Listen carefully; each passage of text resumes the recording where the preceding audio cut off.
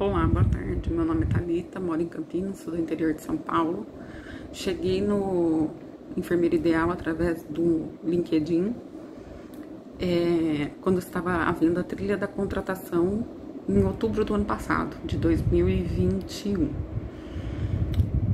Eu era totalmente perdida, me, tinha várias crenças limitantes como fatoridade, achava que eu tinha que mandar currículo para todas as instituições, para todas as vagas. Aparecendo enfermeira, eu tinha que estar tá mandando currículo.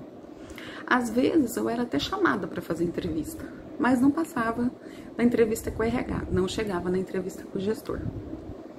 Comecei a fazer o curso Enfermeira Ideal, turma 7, achando que eu já ia começar a fazer o currículo. Foi quando eu descobri que não. Antes de fazer o currículo, a gente tem que aprender a se autoconhecer, tem que descrever a nossa trajetória, saber os nossos soft skills.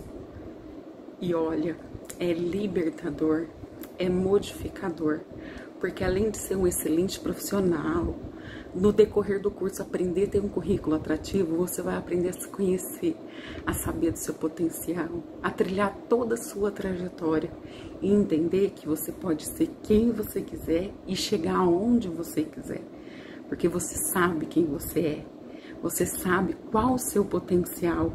Você não fica pagando curso à toa. Você se direciona muito bem. Hoje eu queria agradecer a Thalita Bar por ter me mostrado que idade não é limite, que o céu é o limite. Recentemente eu fiz uma entrevista que a gestora me disse: Olha, antes da sua experiência profissional, o que me chama a atenção é que você procurou fazer um curso de autoconhecimento. Enfermeira ideal vai mudar a sua vida.